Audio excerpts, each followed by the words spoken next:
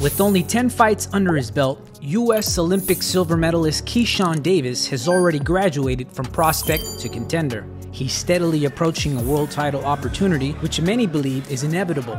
And perhaps that's why he's so calm in the ring.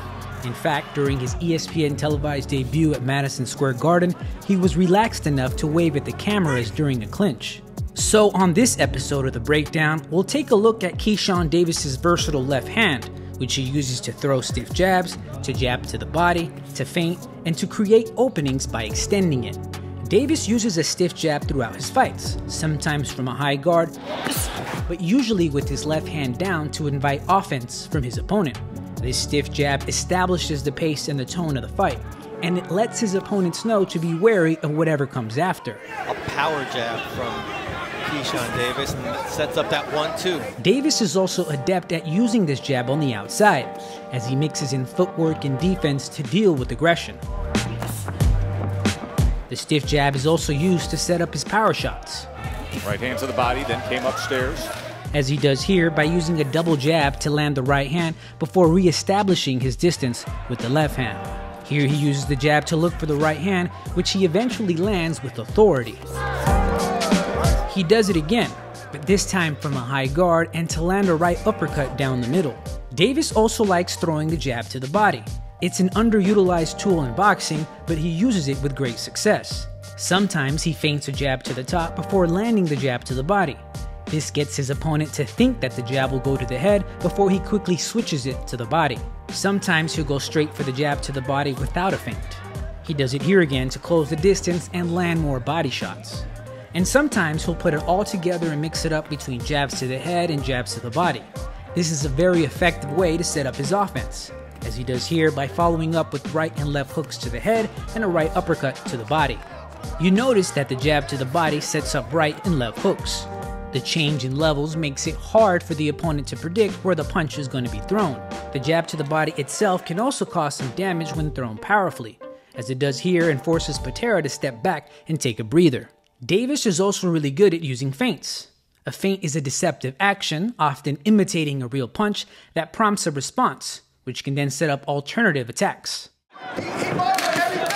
The objective is to mislead your opponent into believing that you are committing to one action, while in reality you're executing a completely different maneuver. We saw earlier how Davis uses the feint to land a jab to the body, but they can also give you insight into their reactions, which you can then capitalize on. Here, Davis notices that when he feints the jab, Albright takes a little step back and drops his left. Dropping his left hand in response to offense is a habit that Davis notices very quickly. So, just a few moments later, he begins to set up the right hand. He starts by feinting, and as expected, Albright drops his left, which allows Davis to come over the top with the right hand. Feinting is an important part of Davis's offense, whether he's coming forward or on the outside.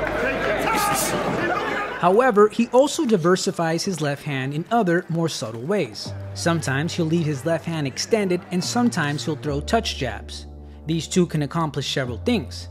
They can change up the speed and the look of his left hand attack, which makes it harder for opponents to predict when the punch is coming. The extended left hand can also help him control and find range. This allows him to dictate when an exchange will occur. Here he does it on the outside as he tries to avoid the corner. He then mixes in some head movement and a high guard before spinning out to find the center of the ring. Davis also does it when coming forward. At times when he wants to step up his attack, he'll use the extended left hand as a blinder. This blinder temporarily obstructs the vision of his opponent so he can begin letting go of his power shots. The touch jabs work in similar fashion, as he lets go of a few jabs at a slower pace before suddenly changing the speed with power shots.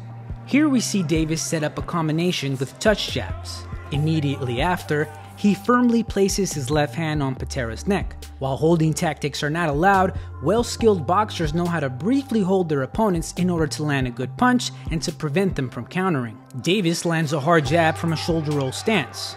Albright comes back with the right hand to the body, but Davis counters with a short right hand. Then, taking advantage of Albright's misstep, Davis firmly places his left hand on Albright's neck, briefly holding him in position for a right hand. Nice right hand! Davis has a toolbox of different maneuvers, This toolbox includes a versatile left hand that has helped him as he transitions into a top contender and as he prepares himself for an eventual world title opportunity. The march to the world title begins on Thursday, February 8, against former world champion Jose Pedraza live on ESPN.